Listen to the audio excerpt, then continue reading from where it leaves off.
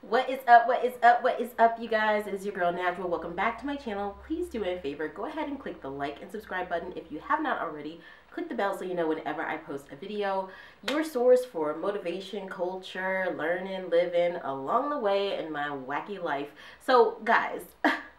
I really love Jimmy Kimmel, okay? And I also found out he's a Catholic like me, so I'm like, oh, Jimmy Kimmel. But dude, I've loved Jimmy Kimmel for a really long time, but right now, while all of this Trump indictment stuff is coming to light, which I'm like, finally, and like Republicans are turning on Trump and Pence and all of these people who have just been having you know, doing the craziest stuff, craziest stuff that is reverberating, you know, through time and space and history that are making like terrible, terrible, you know, sort of it's it's really been basically setting these terrible consequences, not just for us right here in 2023. Well, I mean, this has been going on since 2016, but for time and generations to come. So, you know, but my dad, you know, I think he stole these words from Shakespeare, but still, it was really great. But I quote it all the time. He says that tragedy plus 10 years is comedy. And that is why I value comedy so much because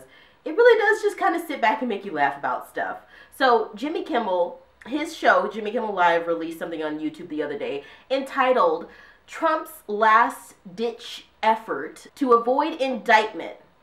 Okay, and grand jury leaves us hanging and Musk's AI warning.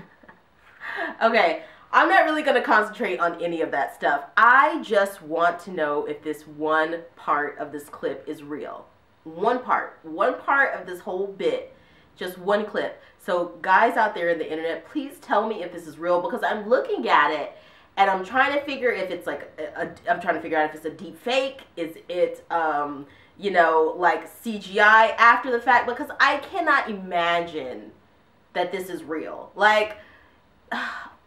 Okay, just let's look at it together and you let me know.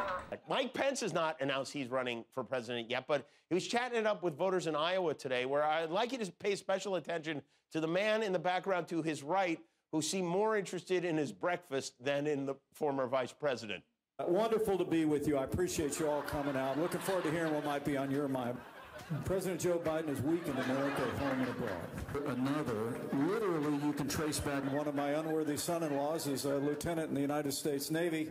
Uh, and my life has changed a lot since the last time most of us were together. And the young pastor earnestly said to him, Well, what do you think we ought to do? And the farmer said, Please tell me what is happening. What is happening? Oh my God. Dude, is it that serious? Is it that serious? And then, of course, runaway. Oh my God. Five minutes later, we made the strongest military in the history of the world. I've told him things he didn't want to hear. Oh my god. And now he's going to sleep. Now he's asleep. It was too much for him. Now he's asleep. Okay, so clearly the leadership in the right is in the in America is really captivating. It's really, really captivating. I mean, it is changing people's lives. there you go. I mean, come on. How, how is he going to be Donald oh Trump? Oh my God. Browns. Exactly. How is he going to be Donald Trump? He can't even beat hash browns. This man was so okay. Anyway, guys, I what do you think about this? Please tell me what you think about this in the comments because I I don't understand. I really, really don't. Let me know what you think in the comments, and I'll see you guys in the next video. Again, if you have not already, please click the like, subscribe button, hit the bell so you know whenever I post a video, and I'll see you in the next one. Okay, bye.